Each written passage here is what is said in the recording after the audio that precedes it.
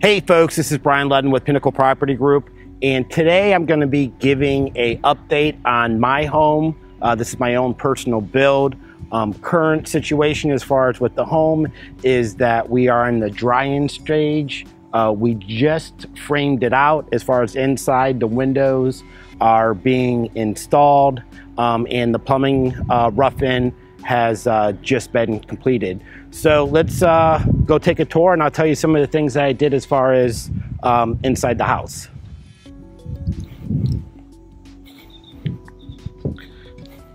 So right here we have a door. So this is gonna be the entrance door. What I'm doing is this is gonna be a 42 inch wide door and this is gonna be an iron door that is 10 feet tall. I have this, uh, I guess you wanna call it knee wall that's right here, but after I installed it, kind of realized that this is something that I'm gonna have removed. I think I'm gonna have a better flow as far as in the interior. Um, great room uh, without this, so this is, uh, next time you see a video, this is gonna be gone. So let's uh, take a look at the great room area. Um, I went with the 90 degree slider now, this is a nine foot slider, 90 degree, and something else that I did that's a little bit different um, as far as with the windows. Uh, PGT has a line that is uh, called the Black Series. So instead of uh, the bronze, um, I went to a upgraded uh, black frame as far as for all the windows and for all the doors. All right, over here I have two floor outlets that are gonna be as far as on the floor. So this is gonna be set up as far as for night lights or any type of reclining chair if I decide to go that way. I have my island right through here. And what I'm gonna be doing with this, and I'll put some uh, pictures of the of the island the way it's gonna look. It's gonna come out to about right here, and this part is gonna be a cove as far as underneath.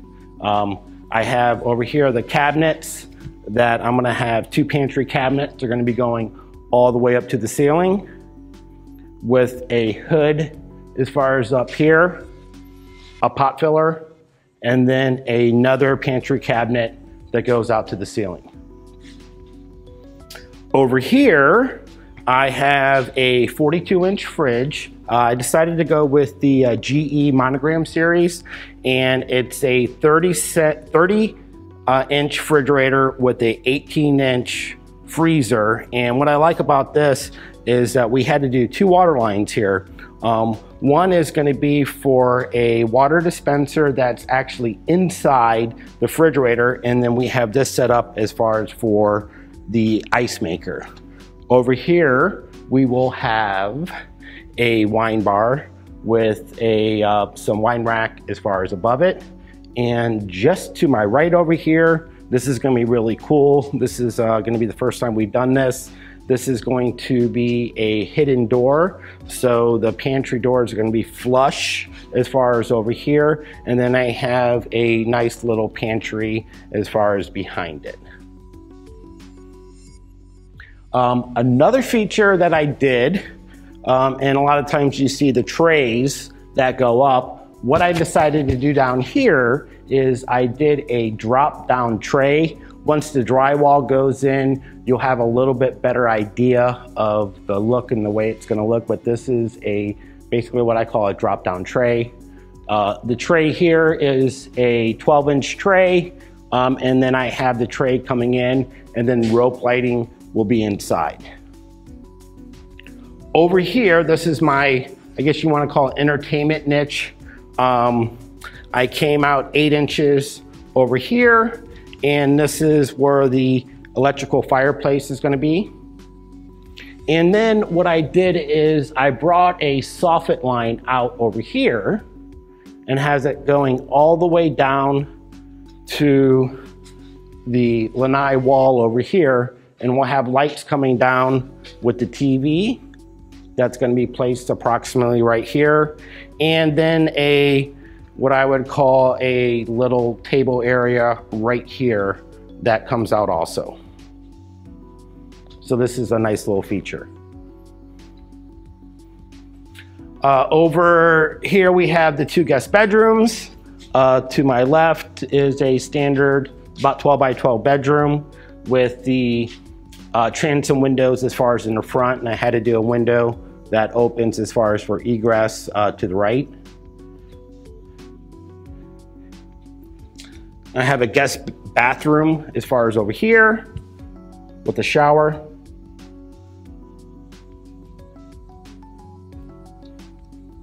Off over here, I have a nine foot sliding glass door that goes out to the lanai area. And this is the pool bath area that goes directly into the lanai.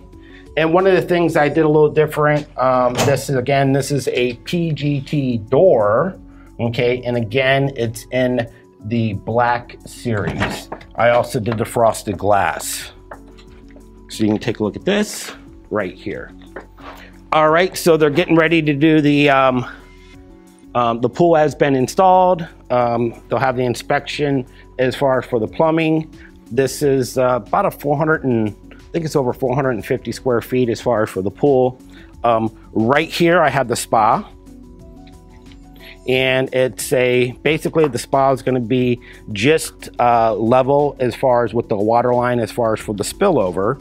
And I have three um, areas to sit as far as for jets.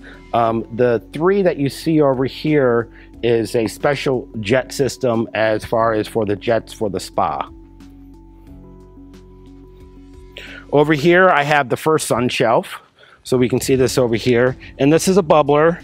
Um, this bubbler um, also will have lights in it. So when you can turn the lights on as far as with the pool and you'll see uh, lights as far as go through as far as for the bubblers when they come up. Um, off to this area over here, this whole area is going to be screened in.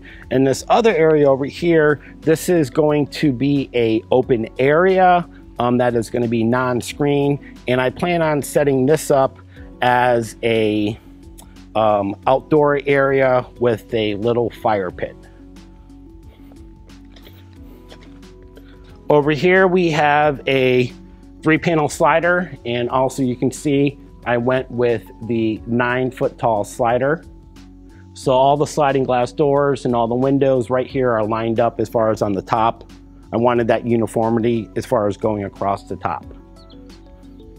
I'm gonna walk over here to the other area of the pool. So what we have here is the second shelf, uh, sun shelf.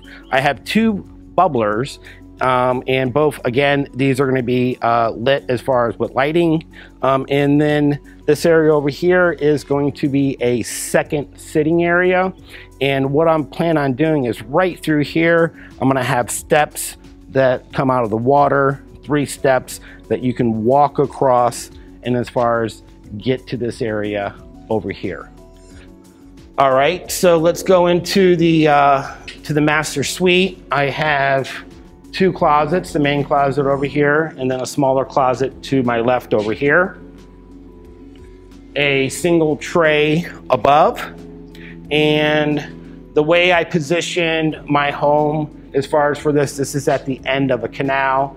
And if you can look out to the sliding glass doors over here, you can see I'll be looking out to my spa and then I have a view as far as down the canal. So I wanted to maximize the view uh, since I'm near the end of the canal to give me the uh, best view. And then also uh, at the end of the canal, I'm also gonna have my uh, boat dock. So I didn't wanna see that. I wanna have a view as far as down the canal.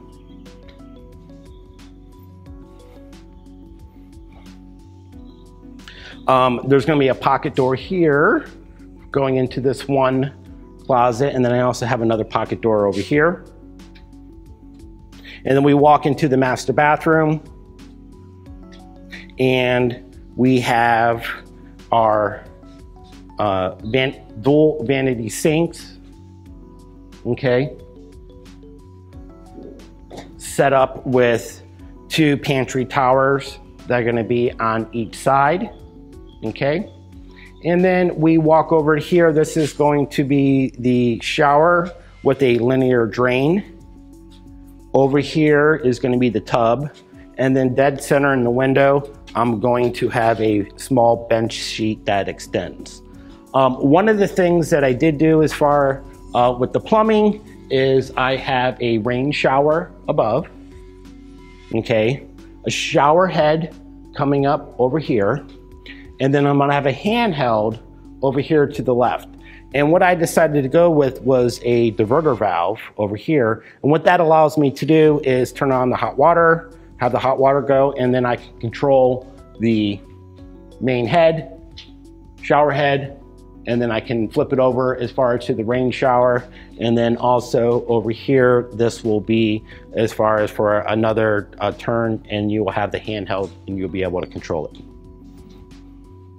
Um, another feature that I'm doing over here is I am going to have a niche over here. Once we put the dryer vent down over here, it's gonna be going out to the side of the window. I can't have a pipe going up here for the niche that I want to install over here. So once we have that installed, then I'll design my niche as far as what's gonna go over here. All right, folks, I'm in the dining room and I just want to uh, touch base real briefly on what I decided to do as far as for the installation, as far as for the home. Um, what I did is I upgraded to what they call the ridge board. So this is going to give me a little bit higher R factor that you would have as far as in lieu of the R foil. And then for the um, uh, for the roof, um, I did decide to go also with the radiant sheeting, and this is going to give me some cooling factors as far as for the attic. Um, think of it just as a sun shield as far as for your windshield in your car. Um, also, you can't see this now, um, but I will be going with the R38 insulation, and I'm going to be insulating the garage and then I'm also gonna be insulation all the main living area.